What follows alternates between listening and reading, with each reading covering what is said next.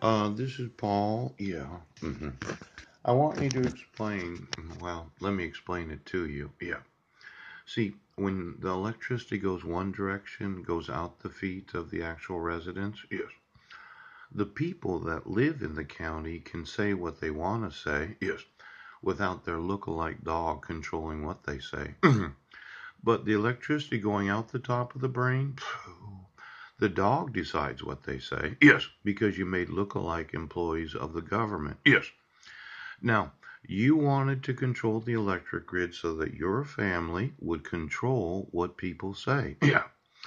I, as a resident of Clallam County, yes, I don't want you having me say anything that I don't mean to say. Mm.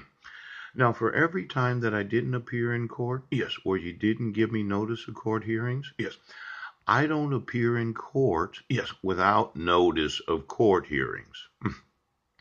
now, let's say I'm in court, yes, because of notice of court hearings. Yeah. hmm And I inform you that my rights are being violated. Yes.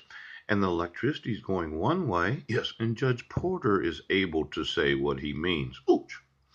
But if it's going the opposite way, yes, why says through Judge Porter what why wants to say. Yes.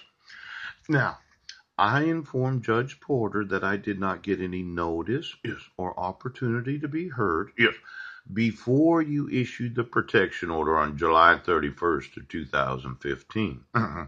Now, the state's response says that as long as the magistrate issues it, it's valid. Mm-hmm. There are no requirements of law to be able to issue a court order. Yes. The petitioner doesn't have to appear in court. Yes. The petitioner doesn't have to sign the court order. Yes. But there is no possible way that you can issue a permanent court order. Yes.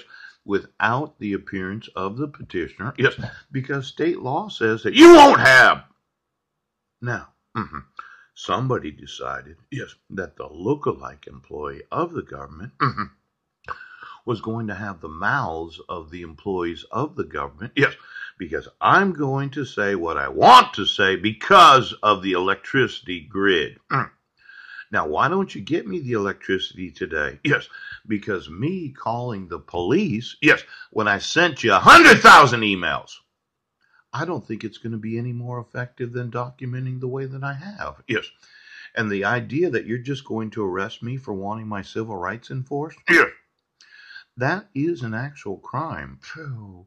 See, these guaranteed rights known as due process, right, uh, procedural, yes, substantive, and the idea that you issue dissolutions of marriage. Now, mhm, I don't want your dog, yes, talking through, yes, any employee of any person, yes, of any form of government of the United States, yes, and I want you to change the electricity, yes, so it goes out the feet. Okay. Because you're corrupt.